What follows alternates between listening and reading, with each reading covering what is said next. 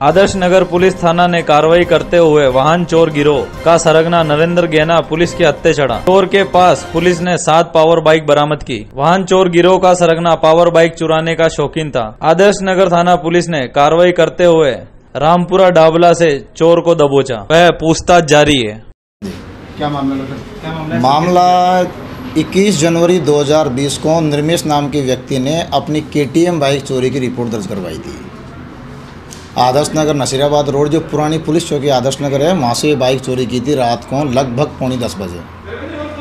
उसकी तलाश की गई दो तीन जगह आसपास मुखबिर मामूर किए गए। तो ये बाइक अपने पास में, गाँव है, चैनपुरा, ये बागेश्वरी के पास में।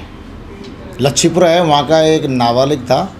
उससे ये बाइक बरामद हो चुकी है। बरामद होने के बाद के अंदर जो मुख्य सरगना नरेंद्र गहना था, इसने ये बाइक उठाई थी, तब से ही फरार है। ये इसने एक कमरा ले रखा है जयपुर के अंदर, एक ले रखा है लोहाकान में। जयपुर से बाइक उठा के फरार होता है, अजमेर रुकता है अजमेर से उठा के ये जाता है जयपुर। इनके पूर्व में इसके दो साथी थे, नारायण जाट और प्रधान जाट, जिससे 25 बाइकें, पावर बाइकें, जो जयपुर में 2019 चित्रकूट थाने में बरामद हो चुकी हैं। अब इसके तीन चार दिन से लोकेशन ये सिम यूज़ लेता नहीं है, कॉल किसी को करता नहीं only for video call WhatsApp call message काम लेता है।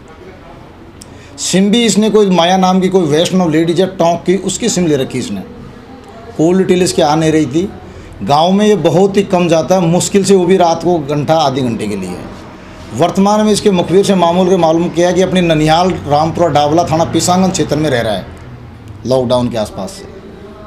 तो दो तीन दिन वहीं होल्ड करके रात को गोपनीय रूप से मालूम किया तो वहाँ पर एक, किसी कोई मरतक का कोई प्रोग्राम था उस प्रोग्राम के अंदर मुँह बाँध के घूम रहा था, इसका पीछा किया। पीछा करने के बाद के अंदर रात को, कल देर रात इसको वहाँ से उठा के लाए।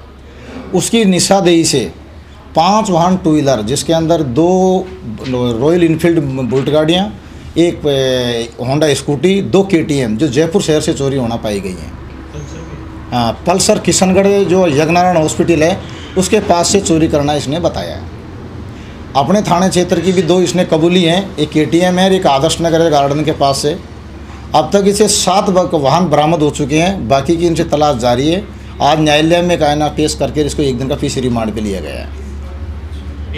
इसका उद्देश्य क्या है? जो लग्जरी उद्देश्य यही है कि ये कुछ लग्जरी गाड़ियाँ लेता है कोई आठ हज़ार में पाँच हज़ार में कोई बिकती है तो दे देता है। अन्यथा किसी को चलाने के लिए दे देता है।